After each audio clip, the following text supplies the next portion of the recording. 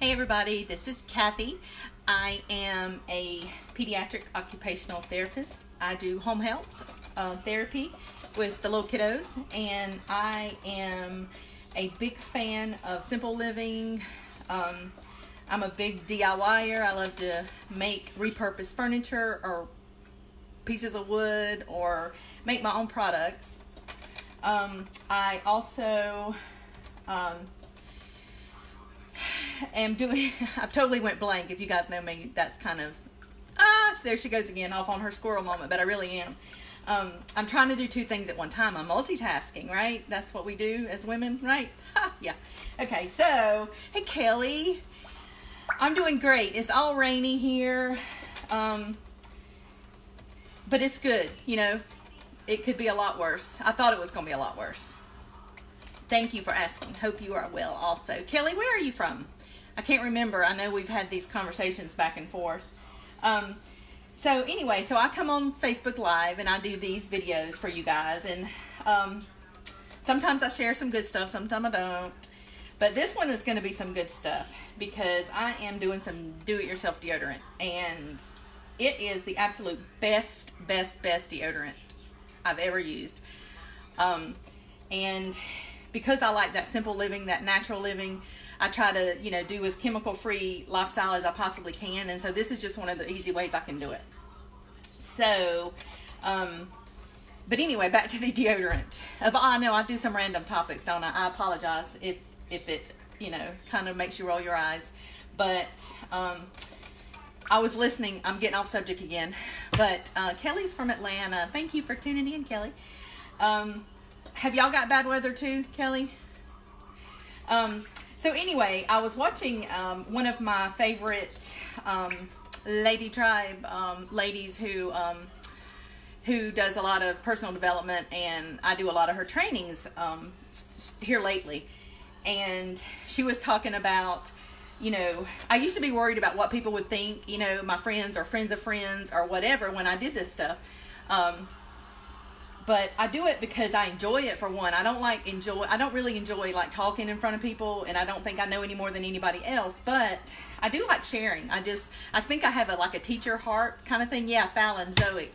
Uh Zoe. So yes, that's the one. So anyway, she was talking about with all that being said, um, I still like to do it. I don't I don't love to do it, but I still like to do it because um, it's a, it's a part of my nature to teach and to to be to do helpful things like help people.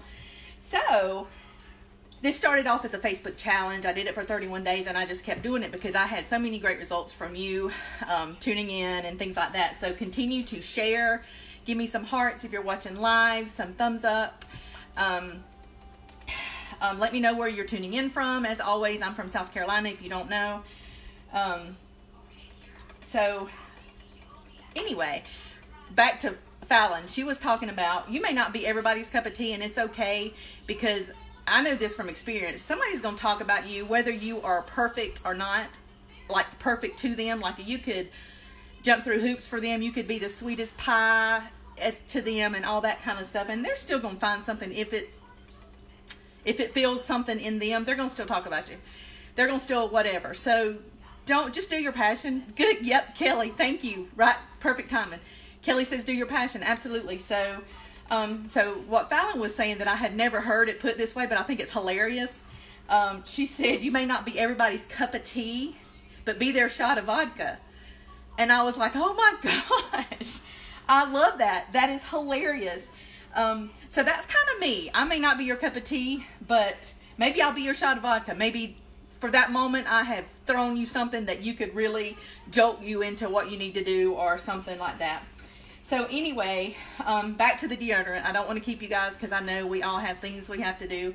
But to the deodorant. Um, so what I have, I'm going to go ahead and turn it the, down, um, the camera down.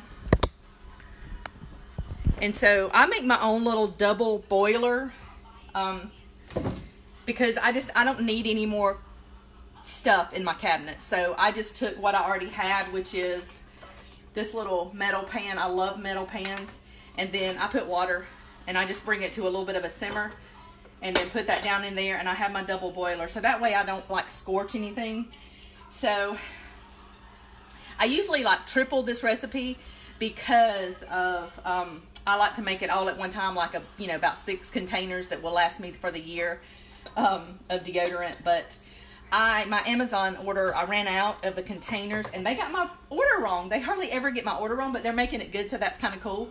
But um, so I just ordered these in bulk from Amazon. They're little. You can get they come in different sizes and um, some I don't love. I ordered from a different company through Amazon this time because I didn't like the last ones. Um, uh, for whatever reason, I just didn't like them as good. Um, so let me turn this down. So these are the leftovers. So anyway, I ordered a whole new batch of these. Sometimes I save them and I've reused these a couple of times. Like I said, the last one, because I did a DIY here and I gave them out. You paid money, you know, and I we did DIYs all here together. So I ran out.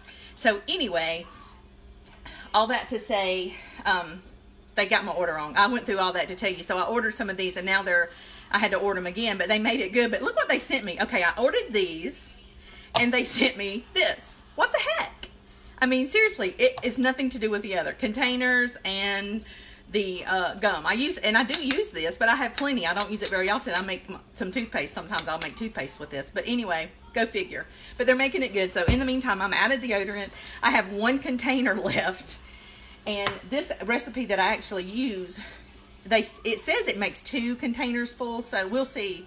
Um, who knows? Okay, so um, I've already melted my beeswax and coconut oil.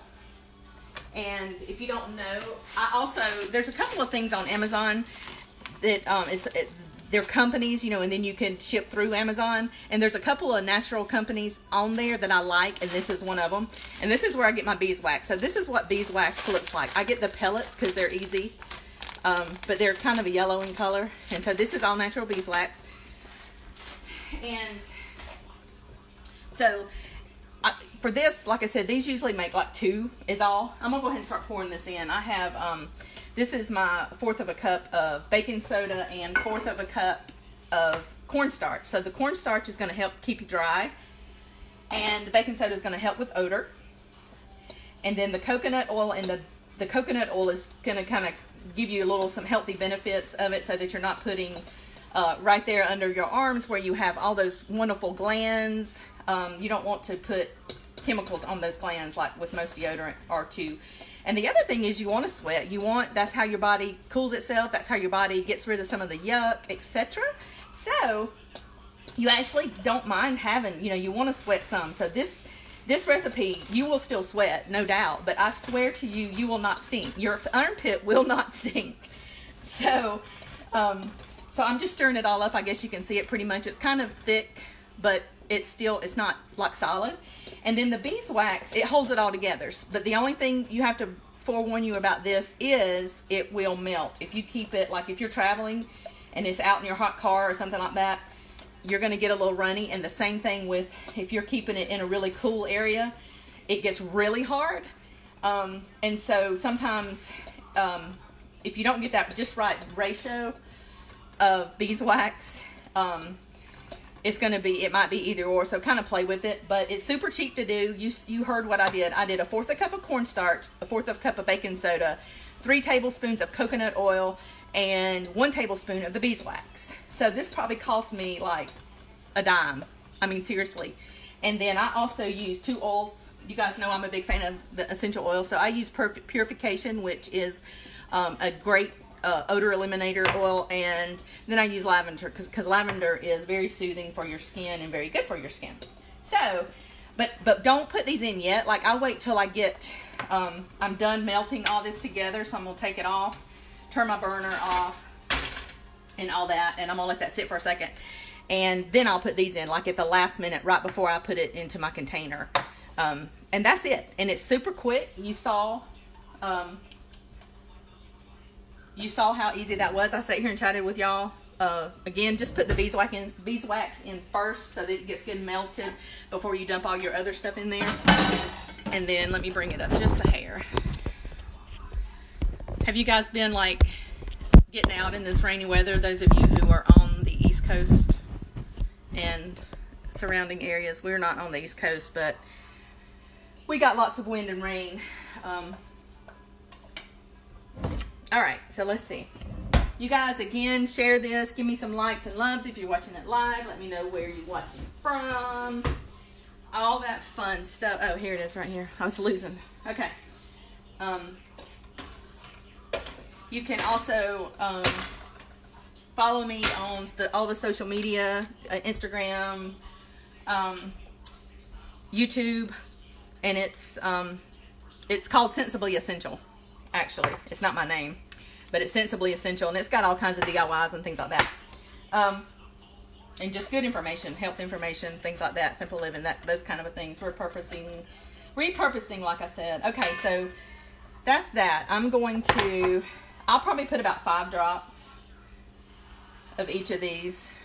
Um, and then that's it. I'm going to pour it up into this container and I'm done. And I'm good to go. And people are thankful. And I promise you, this is the absolute best deodorant. Like I said, you will sweat because you need to sweat. I don't want to stop those glands up because um, I want my body to cool itself and I want my body to get rid of those toxins when it needs to. But I don't know if you guys can see it, but my hands are full, so I'm not going to move the camera again. But I'm just pouring it in, and it, there is like one little itty bit left. So um, because I'm thrifty, I'm not going to waste. I'm going to just pour it into here. And when I get my other containers and make a bigger batch, all I will do is um, I'll scoop this out and, and melt it back in with the rest of it. Um, so let me scrape this out. So remember what we were just talking about. Kelly and I earlier, back and forth, we were talking about be somebody's um, shot of vodka instead of their cup of tea. Um, I learned that lesson, like I said, a long time ago. Don't worry about it quite as much. But um, anyway, it was funny because Valen um, Fallon put it that way, and it was so I've never heard it put that way, so that was hilarious. Okay, so here, this is it. This is your finished product, pro product, and I fill it all the way to the rim.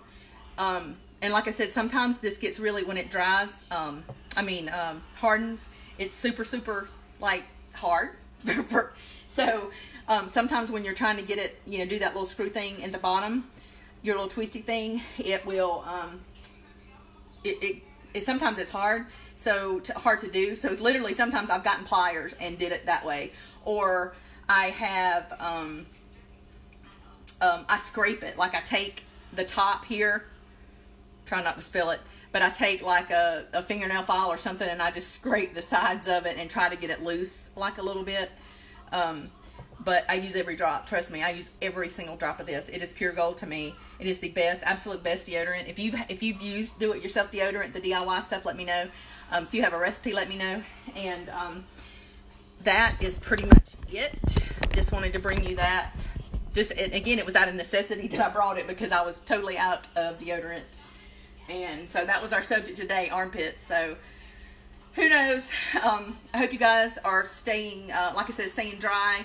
Um, let me know you're watching. Let me know where you're watching from.